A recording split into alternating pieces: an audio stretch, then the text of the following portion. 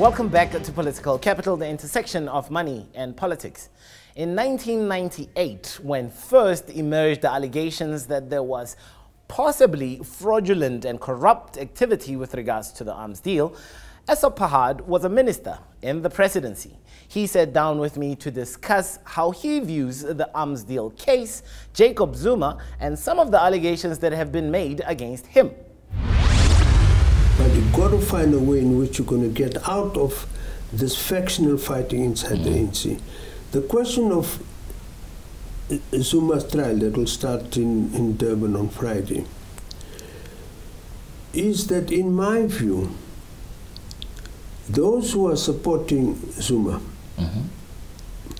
must not use the opportunity to bring in ethnicity into the politics of the ANC and the politics of our country. Mm-hmm. Because if we ethnicize politics in South Africa, we're going to tread a very, very dangerous road. Mm.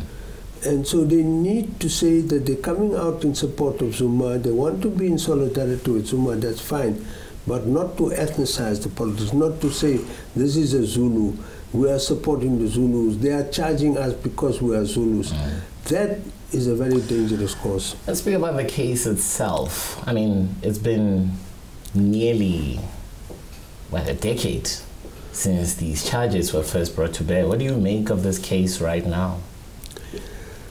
Well, look, as they say, the going saying goes, the long arm of the law might take a long time, but it has to take its course.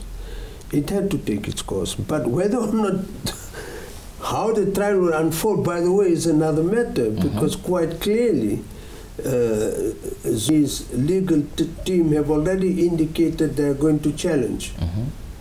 uh, the prosecution's uh, thing about bringing them to trial. So they're going to, they're not even challenging the, the charges at the moment, just challenging the right and they think that uh, he shouldn't be tried because they, there isn't enough uh, evidence before them. What do you think? So now that's going to take oh that's going to take a long time. Mm -hmm because you lose here, then you appeal, then you appeal. Now, I want to say this people have been accusing Zuma of appealing the trials all the time, but that's his right.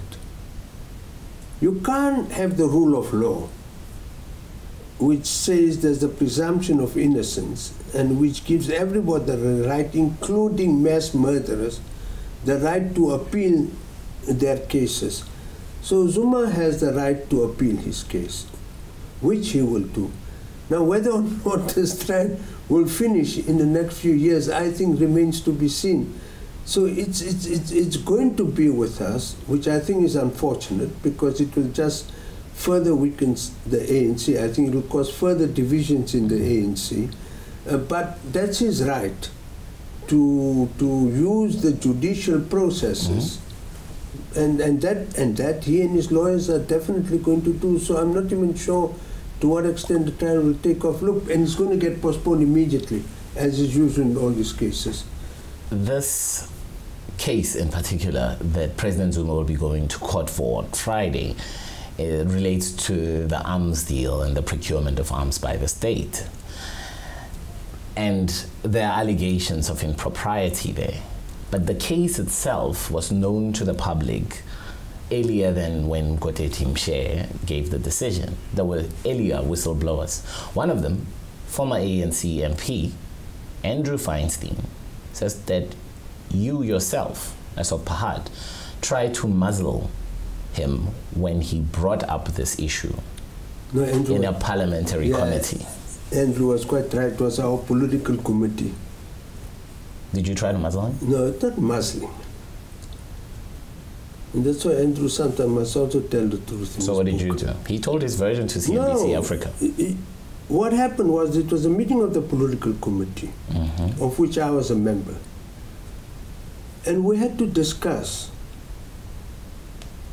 whether it's right or wrong for an ANC MP to come out against the policy position of the movement in Parliament. But the policy, I think, according and to him, was said, inherently no, flawed. the policy of the ANC at that time was that there were these other processes going on, and, and, and parliamentary committees must do their work. Andrew was coming out against the positions of the movement. And for me, that was incorrect. And I said so. I said Andrew can't be allowed. Because if you allow Andrew to come out against the policies of the movement, then how do you stop anybody else from doing so? And where previously, for example, people who, for religious reasons, couldn't support the termination of pregnancy mm-hmm. bill, we said to them, apply for special dispensation. That is not a legal issue that stayed with us in the forefront of society and the consciousness of political South Africa for 10 years. That was just one no, issue. No, no, no. But what, you see, you asked me a question. I'm okay. answering your question now. Did I muzzle Andrew Feinstein? No. The point that Andrew Feinstein is trying to make is that this issue could have been put before the courts much earlier if there was no political mechanization no. at the back that stopped it from even getting but to the forefront. What are you talking about? First of all, Bulelani, mm-hmm. when he was uh, director of public prosecution, made a public statement which he shouldn't have. Mm-hmm. Uh, that although there was prima facie evidence against Zuma, he did not think there was enough evidence to convict him, and therefore he's not going to be charged, and Schabir Shaik will be charged. Now, you can't then say you want to have that position independent of government, which it is, by the way. Mm-hmm. And government has no right to interfere with the prosecutors, no right, none whatsoever. And then said the government should have interfered in the work of an independent institution. It's an independent institution. They took their decisions, right or wrong. I think Bulelani was wrong. I think most people agree Bulelani was wrong, that they should have charged him at the same time as Schabir Shaik. I think Mpshe was wrong. Mm-hmm. The, the, the, the reason he gave uh, to drop the charges. The, to, to, to drop the charges. Now the courts have found against him. But you could not force, and you should never force, mm-hmm. the public uh, prosecutor uh, to take uh, political decisions because then you're interfering with the judiciary and the arm of the law, and that is independent. And so I think you must get facts straight. Okay. That, that this is exactly what happened. It wasn't the government's position. But Andrew Feinstein was speaking about the arms deal from a position of parliament. He was a member of parliament. So he was speaking about the fact that there must be an open conversation within parliament about the arms deal and how it will be handled. These conversations only happened much, much later. No, man. And not necessarily. Now you just read a book and you think that what the man says in the book is all true. so look, the fact of the matter is that this matter was discussed in the structures of the ANC. Mm-hmm. Now people may say that we came to a wrong decision. That's, of course, it's entirely up to them. We've said, and I maintain now, now, mm-hmm. even now with this interview with you, that they will not find any wrongdoing, I think, in the primary contracts. You see, the government is responsible only for the primary contracts. The secondary contracts that the primary contractor enters into has nothing to do with the government, has nothing to do with the contract you sign. Mm. So if your station signs a contract with you mm-hmm. and you go and do something else, uh, sign a secondary contract with somebody else, I don't know what happens in that case, but in this case, so what you have to prove is not that there was corruption in the secondary contracts. There was, unfortunately. But you have to prove that there was corruption in the primary contracts. Now, I was not involved as a minister in that. We had a special ministerial team that was led by Thabo Mbeki, mm-hmm. uh, which, which, which had to uh, deal with this thing. But when it was reported to cabinet, and when the, the then Auditor General, by the way, they're rubbishing him now, and he found no, that's not true. There was no corruption in the primary contract. So I'm saying, if you want to go back to Andrew Feinstein, then go back and ask him, have you got any proof uh, that there was corruption in the primary contract? And if you have proof of the corruption in the primary contract, who was it that was responsible for that corruption? That, that, that, that's what I'm saying. Let me ask you a question. What do you think of the Seriti Commission? The what commission? The Seriti Commission. Look, the commission that investigated You set up the a commission. The commission comes out with the report you don't like, and by and large, a lot of you in the media reject the commission like you're doing now, and say, but why are you not producing the evidence Do you? to, no, no. Why are you not producing the evidence to say that the Seriti Commission was wrong for the following reasons? I did not read the report. I just read what was in the media. and what do you think? But for me, no. He, he made a report. He, he, he was a judge. He's a well respected judge.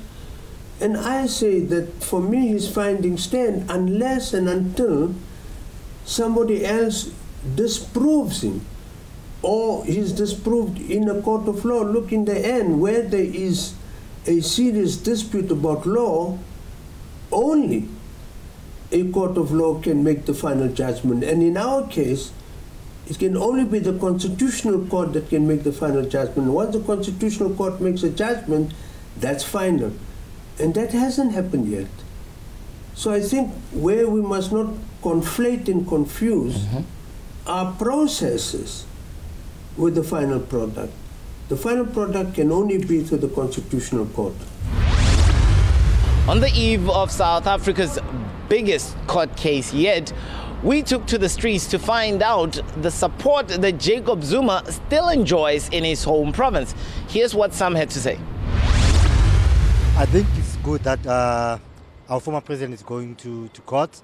He's going to finally have his day in court. No, I think it's I think it's very unfair what he did. He stole a lot of money from the taxpayers, so I think he should go to jail. Um, I feel that it's just great because um, he was also with um, Schabir Shaik's in the beginning and their fraud scams. He went to prison. Why- why- I'm, I'm sure it's his son to go to jail now for all the wrong that he's done. I think it's a very good thing for uh, political justice to be seen to be done. I think he'll be uh, dismissed as well. The case will be dismissed against him. He's my president, and I appreciate what he's done for our country. Well, from the Durban High Court, that's where we wrap this edition of Political Capital. Remember, CNBC Africa will be bringing you every minute of the court case tomorrow starting from 9 a.m. It is very much expected that former President Jacob Zuma will make his way up the stairs for his first court appearance. Stay tuned to CNBC Africa for more. From us here, it's goodbye.